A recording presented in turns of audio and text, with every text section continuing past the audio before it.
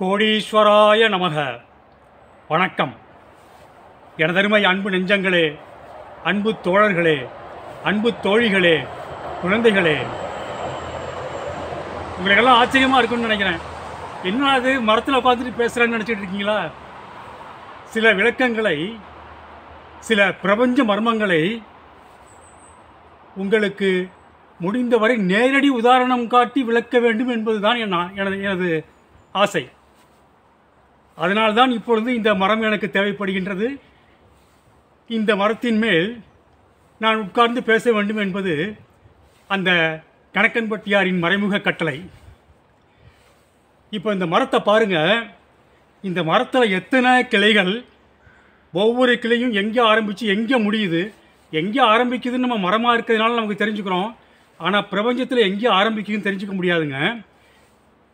ஏகப்பட்ட கிளைகள் சாதாரணமாக இந்த மரத்திலேயே ஏகப்பட்ட கிளைகள்ங்க.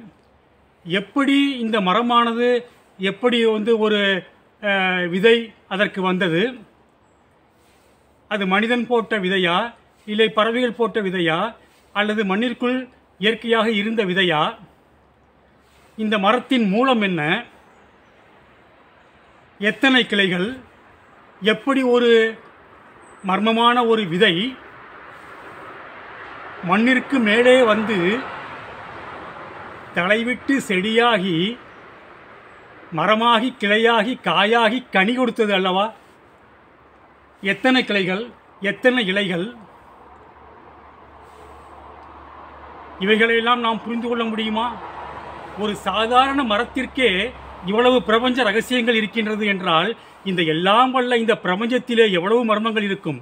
இந்த பிரபஞ்சத்திலே எத்தனை கிளைகள் இருக்கின்றன எத்தனை பாதைகள் இருக்கின்றன ஒவ்வொரு கிளை என்ற பாதையும் எங்கு ஆரம்பிக்கின்றது எங்கு முடியும் என்பது யாருக்குமே தெரியாது. அந்த கிளைகளிலே அந்த பாதைகளிலே உள்ள கஷ்டங்கள் என்ன என்று யாருக்குமே தெரியாது. அந்த பாதைகளுக்கு வழியும் தெரியாது. இந்த மரமானது சாதாரண மரமானது எவ்வளவு பிரபஞ்ச மர்மம் அடக்கி இருக்கின்றதோ இதைவிட கோடிக்கணக்கான பிரபஞ்ச மர்மங்கள் அடக்கி இருக்கின்ற அந்த பிரபஞ்சத்தை அறிய வேண்டுமென்றால் பிரபஞ்ச மூலவனை நாம் கிரகிக்க வேண்டும். பிரபஞ்ச மூலவனை நாம் நமது மனதிலே நிறுத்த வேண்டும். பிரபஞ்ச மூலவனை நாம் சிந்திக்க வேண்டும். பிரபஞ்ச மூலவனை நாம் உதவிக்கு அழைக்க வேண்டும். அந்த பிரபஞ்ச மூலவன் எல்லாம் வல்ல பிரபஞ்ச மூலவன் கணக்கன்பட்டியிலே குடியிருக்கின்ற கதாநாயகன் மூட்டை சுவாமி என்று செல்லமாக அழைக்கப்படுகின்ற அந்த கணக்கன்பட்டி சுவாமி அந்த மூலவரை நாம் பிடித்து கொண்டோம் என்றால் இந்த பிரபஞ்ச மர்மங்கள் அனைத்தும் சிறிது சிறிதாக அவர் விளக்குவார். அந்த விளக்கத்திலே நாம் நமது பாதையை அமைத்துக்கொண்டு மிக சிறப்பாக அருள் மட்டுமல்ல பொருளையும் பெற்று சிறந்தோங்கி வாழலாம். அதற்காகத்தான் இந்த மர உதாரணம். சரிங்க. இப்போ உங்களுக்கு ஒரு உலகத்தின் உச்சகட்ட அதிசயம் ஒன்று சொல்கிறேங்க உலக அதிசயங்களில் இந்த அதிசயத்தையும் சேர்த்துக்கணுங்க. அது நமது கணக்கன்பட்டி மகான் நடத்தினதுங்க. அதாவது இரண்டாயிரத்தி ஒன்றாம் வருடத்தின் இறுதி மாதங்கள். டிசம்பர் மாதம் ஃபஸ்ட் வீக்காக இருக்கலாம்னு நினைக்கிறேங்க.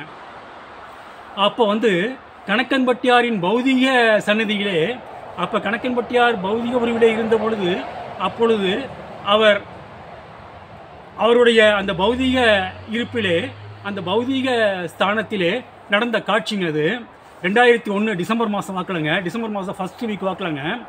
அப்போ ஒரு சுமாரான கூட்டம் நிற்குதுங்க பகவானை சுற்றி கணக்கன்பட்டியாரை சுற்றி ஒரு சுமாரான கூட்டம் நிற்குதுங்க அப்போ ஒரு மலேசிய தம்பதியும் அவங்களோட ஒரு பையனும் ஒரு சிறிய பையனுங்க மூணு பேர் நிற்கிறாங்க அந்த கூட்டத்தில். அவங்க சொன்ன ஒரு உண்மை சம்பவங்க அவங்க சொல்கிறாங்க பாருங்கள் அதாவது ஹஸ்பண்டுங்க ஹஸ்பண்டு ஒய்ஃபு அவங்க பையங்க. அந்த பையன் வந்து அவர் சொல்கிறாருங்க இந்த பையன் வந்துங்க செகண்ட் ஸ்டாண்டர்டு படிச்சுட்டு இருக்காங்க. இதில் மலேசியாவில் நாங்களாம் மலேசியா தான். மலேசியாவில் இவன் சயின்ஸ் ஸ்டாண்டர்ட் படிச்சுட்டு இருக்காங்க. நாங்கள் வந்து மூட்டை சாமியை பார்க்க வர்றது இது ஃபஸ்ட் டைம் கிடையாதுங்க. அங்கே பல முறை பார்க்க வந்திருக்கோம். அதனால் என் பையனுக்கு வந்து மூட்டை சாமி மேலே வந்து அவ்வளோ பிரியங்க. முட்டைசாமி தாத்தா முட்டைசாமி தாத்தா அப்படின்ட்டு தூங்குறப்ப கூட சொல்லுவாங்க. அவ்வளோ பிரியங்க.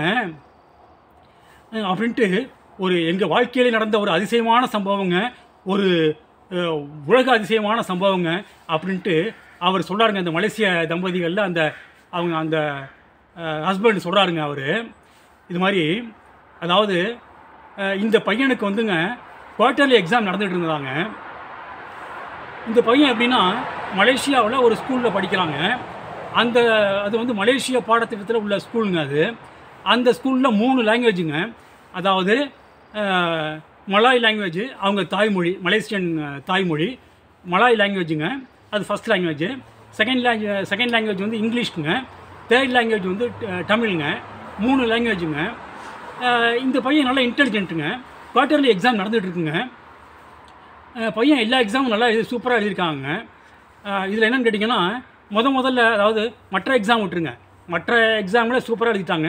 இந்த முதல் எக்ஸாம் நடந்ததை பற்றி தாங்க இப்போ இந்த இந்த அதிசயங்க. அது வந்து மலாய் எக்ஸாமுங்க மலாயில் ஒரு கொஸ்டின் கேட்குறாங்கங்க அதாவது ரெண்டு மார்க் கொஸ்டின்ங்க மலாய் லாங்குவேஜில் அது என்ன தமிழில் நான் சொல்கிறேங்க அது என்ன கொஸ்டின் கேட்டிங்கன்னா அதாவது தாவரங்கள் செடி கொடிகள் மரங்கள் இவைகளுக்கெல்லாம் மண்ணிலிருந்து சத்தை எடுத்து கொடுக்கின்ற ஒன்றின் பெயர் என்ன? அப்படிங்கிறதாங்க கொஸ்டின்ங்க என்ன கொஸ்டின் அதாவது தாவரங்கள் செடி கொடிகள் இந்த மாதிரி. அதாவது தாவரங்கள் செடி கொடிகள் அந்த சம்மந்தப்பட்டவர்களுக்கு மண்ணிலிருந்து சத்தை எடுத்து கொடுக்கின்ற ஒன்றின் பெயர் என்ன? அப்படின்னு கேட்டிருக்காங்க இந்த பையன் எல்லா கொஸ்டினும் சூப்பராக ஆன்சர் பண்ணிட்டாங்க. அது ரெண்டு மார்க் கொஸ்டினுங்க இவனுக்கு மனசே கேட்கலங்க. அதை கொஸ்டினை விட்டாலும் இவனுக்கு அதனால் ஒன்றும் இல்லைங்க. இருந்தாலும் எல்லா சப்ஜெக்ட்லேயும் நல்லா மார்க் வாங்க போகிறோம் இந்த சப்ஜெக்ட்லேயும் நல்லா மார்க் வாங்க போகிறோம் இந்த ரெண்டு மார்க்கை விட்டால் நமக்கு வந்து 98 எயிட் தானே வரும் ஹண்ட்ரட் குறையுமே அப்படின்ட்டு அந்த பிஞ்சு மனசு கஷ்டப்படுதுங்க. டக்குன்ட்டு தன்னறியாமல் அந்த பிஞ்சு மனசு நினைக்குதுங்க. மூட்டைசாமி மூட்டைசாமி தாத்தா மூட்டைசாமி தாத்தா எனக்கு இதுக்கு நீ விடை சொல்லணும். அப்படின்னு ஒன்று அடுத்த செகண்டுங்க அந்த பையனுக்கு ஒரு காட்சி வந்துச்சாங்க. அந்த பையனும் அந்த ஸ்பாட்டில் இருந்தாங்க. அந்த பையனும் இந்த சம்பவத்தை சேர்ந்துட்டு சொல்கிறாங்க அந்த பையனும் அப்பாவும் அந்த அம்மாவும் சேர்ந்துட்டு சொல்கிறாங்க அந்த பையன் அப்படி நினைக்கிறானாங்க.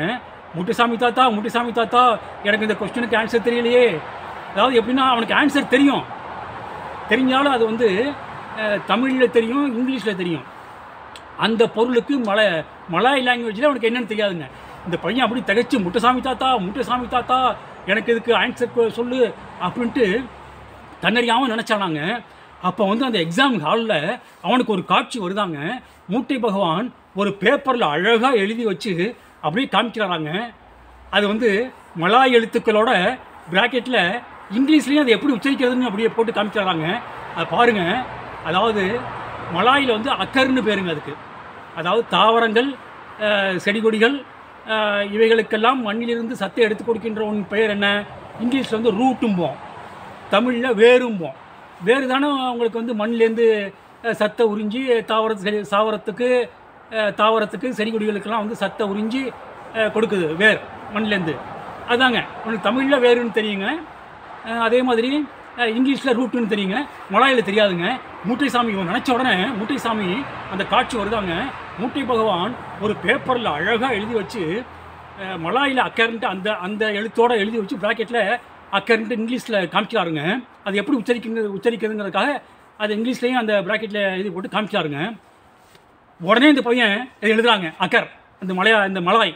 அந்த மலாய் எழுத்து பார்க்குறீங்க பற்றியா நீங்கள் அந்த மலாய் எழுத்தில் எழுதுறாங்க. ஹண்ட்ரட் மார்க்குங்க. அவனுக்கு அவனுக்கு மார்க் ஷீட் வந்த உடனே அந்த பையன் குதிக்கிறாங்க அவனுக்கு வாங்கினது ரெண்டு மார்க்கு எக்ஸஸாக வந்தாலும் அவனுக்கு அது ரெண்டு கோடி நன்மைகள் கிடைச்ச மாதிரி ரெண்டு கோடி உலக பயன் கிடைச்ச மாதிரி அந்த பையன் அப்படி சொல்கிறாங்க உடனே இந்த அப்பாவுக்கும் அம்மாவுக்கும் அது கேட்டு ரொம்ப மகிழ்ச்சியால் அவங்களும் ஆனந்த கூத்தாடினாங்களாங்க. அதுக்கு பிறகு தாங்க இது வந்து அவங்களுக்கு மூட்டை விபாகம்னா ரொம்ப நம்பிக்கை ஏற்பட்டு அதுக்கு பிறகு இது இப்போ வந்திருக்காங்க. அதாவது பலமுறை வந்திருக்காங்க அவங்க. பலமுறை வந்தாலும் இந்த காட்சி ஏற்பட்ட பிறகு ரொம்ப நம்பிக்கையோடு இப்போ வந்திருக்காங்க. வந்து பகவான்கிட்ட சாஸ்தாங்கமாக விழுந்து நமஸ்காரம் பண்ணாங்க. பகவான் எப்போதும் போல் அவருக்கே உரிய பாஷையில் ஏதோ பேசிட்டு அப்படியே போயிட்டாருங்க. இந்த சம்பவத்தை சொல்லி அவர் மகிழ்ந்தப்ப அங்கு கூடியிருந்த கூட்டம் அடைந்த ஆனந்தத்திற்கு அளவே இல்லைங்க. அளவற்ற ஆனந்தம் தொடரும். அன்பு அற்புதம் தொடரும். மீண்டும் சந்திப்போம். ஆத்ம நன்றி.